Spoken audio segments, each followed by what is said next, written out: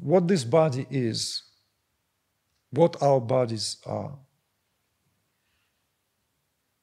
It's an expression, this marvelous instrumentality equipped with the organs of cognition.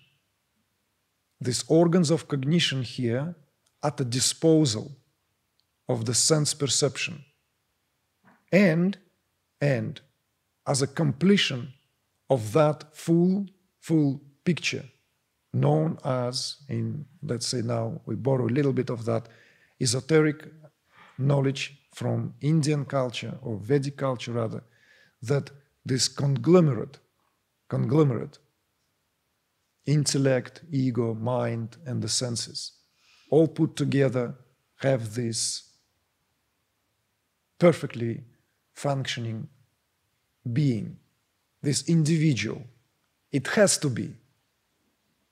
It has to come to that point so the experience can take place. And I hope I made it very clear in the Kundalini course when I spoke about it that there is nothing other than experience.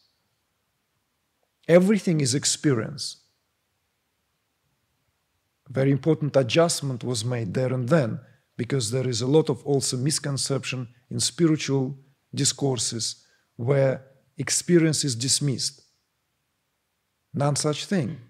There's nothing other than experience. A simple inference adjusts this very clearly, brings clarity home.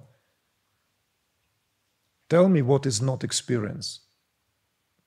And I will catch you and show you that that in itself is experience. Just tell me what is not experience.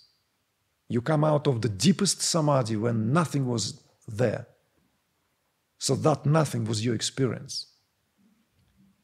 So even in a state of complete and utter absorption, in the state of nirvikalpa samadhi, when metabolic rate goes to zero, metabolic activity, when you do not have nothing you can identify with.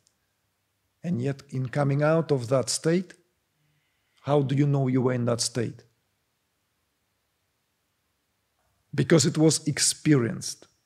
Therefore, the non dual drill, be aware of awareness, is basically a bullshit.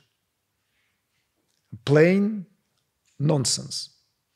Nobody can be aware of awareness. I mean, just land down, touch the ground, and think for yourself. How can you be aware of awareness?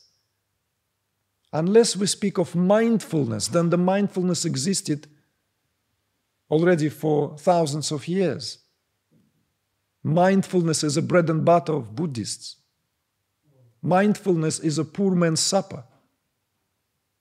That's what it is. Mindfulness is if you do not have anything more refined. So you resort on mindfulness. Be mindful.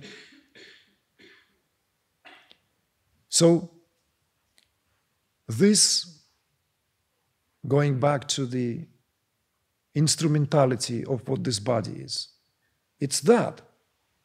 It's so that there is this experience can take place.